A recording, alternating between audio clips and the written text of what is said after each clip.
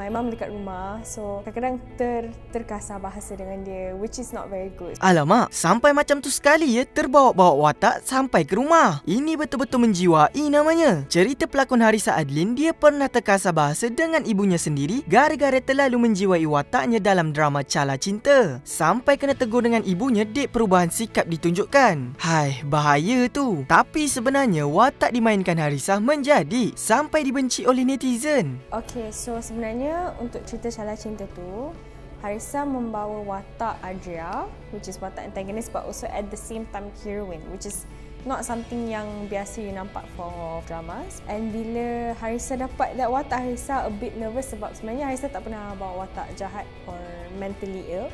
It was my first time, so Harisa, I I did my breakdown. I I reference a few movies dengan drama. Harisa tengok dulu. Harisa macam kadang-kadang kat rumah Harisa macam practice a few lines macam mana I nak kena buat ni buat tu. Tapi it's not easy sebab benda tu macam bermain dengan hati dan jiwa you. So Honestly, sejujurnya bila Harisa bawa watak karakter tu untuk satu bulan setengah macam tu, Harisa terikut-ikut terbawa-bawa dengan karakteristik Adria. I come back home dengan perasaan yang sangat tak best. Harisa cepat marah, Harisa macam kadang-kadang kalau kita jalan terlanggar kan. Uh, Harisa akan macam, okay, it's okay. Tapi masa Harisa bawa watak Adria tu kalau orang terlanggar kan, macam, Uh, you know, it's it's stuff like that. Tapi benda tu Haizat of course lah tak suka sebab my mum dekat rumah. So kadang-kadang ter terkasar bahasa dengan dia which is not very good. So I have to work on controlling macam habis je shooting for the day, I have to like switch it off. But it was a great experience. Haisa tak tahu pun I was capable of doing that. Haisa tak adalah confident sangat yang Haisa bawa watak tu dengan bagus sangat. Ada banyak lagi yang saya kena improve on. Tapi kepada sesiapa, any of the penonton yang rasa macam you know, terkesan dengan my character, thank you very much. Apa perasaan bila ramai yang kata menjiwai di watak sampai kan cari Instagram dia, cari TikTok sampai komen-komen macam tu. Hmm.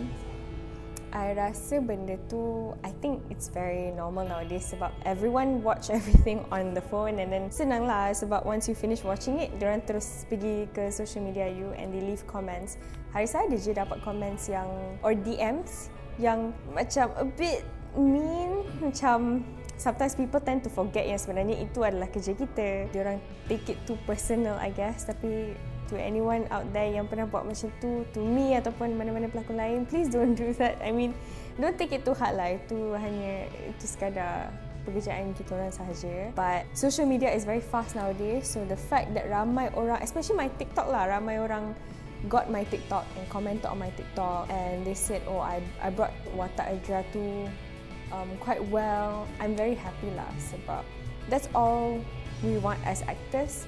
Kita nak orang feel not know me as Harisa but like know my character which is something that I feel good about sebab you remember me by my character. So sebagai seorang pelakon Harisa rasa macam okay people remember my work. So Harisa pun gembira lah. Pasal kau dulu bukan masih terbawa watak kan mm. kau you ada jumpa sini pelakon sini ke ataupun macam ni sahabat diri how, how do you overcome sebab ada uh, artis memang susah. Pelakon oh, yes. meninggalkan watak. Dia akan terbawa sampai bertahun-tahun kan? So one thing is that my support system is my mother. Dia she she's with me every every step of the way So kalau Harisa macam ter triggered it, something triggers that character, she'll like ask me to snap out of it. Sebab my mom sangat sangat garang, and she is the reason why, inshallah, I'll I stay grounded now and maybe in the future also. Biasalah kita kerja, kita tak dapat nak lepak dengan kawan kita ataupun jumpa family kita. Tapi Harisa rasa macam kenapa semua orang tak nak spend time with me? Padahal I am busy I tengah kerja, okay je sebenarnya. So my mom will be there to like get me back on track and everything. Ada that one time Harisa bawa watak yang hari-hari kena nangis, hari-hari kena maki, kena pukul. So Harisa tak makan, tak ni apa semua. Tapi my mother is always there and my manager also to help me like snap out of it lah.